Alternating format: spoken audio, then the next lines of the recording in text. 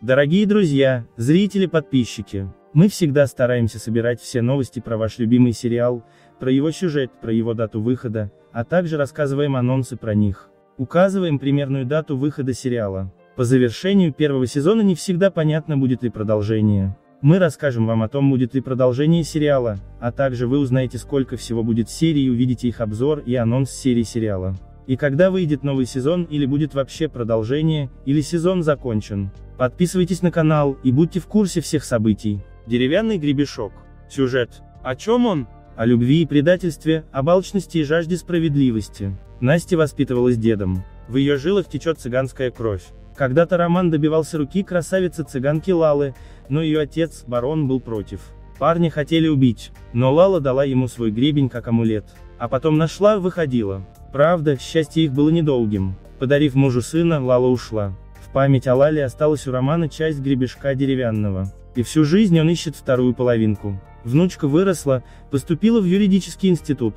Ей нравится соседский парень, автомеханик Дмитрий.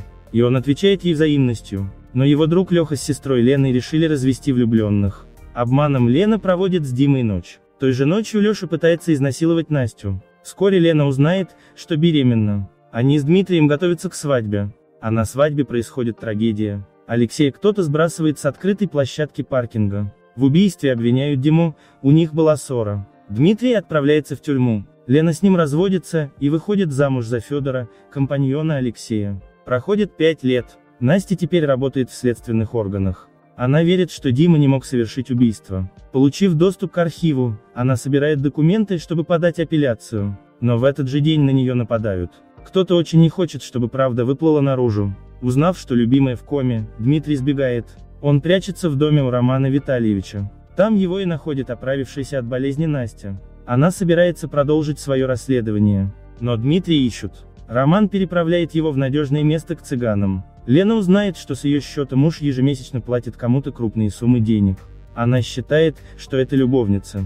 Насте и Диме удается узнать правду. Она шокирует всех, Леша жив, он инсценировал свою смерть, опасаясь цыган, которые обвиняли его в краже. Федор помог ему в осуществлении плана. Ведь ему нужно было убрать с пути Дмитрия, чтобы заполучить Лену. Но это была не просто подстава. Осуществляя свой план, они убили человека.